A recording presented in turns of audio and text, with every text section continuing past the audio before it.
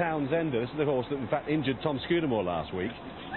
That's John Kington, a seven-pound conditional, trying to get on, puts his feet in the iron, and the horse goes back.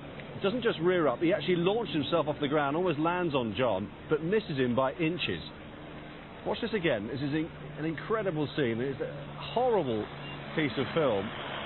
And John is a tall young lad. He misses out there by about two feet, and all he walks, all he gets away from it is a slightly bruised backside. Let's hope we don't see too much more of um, Townsender on the racecourse soon.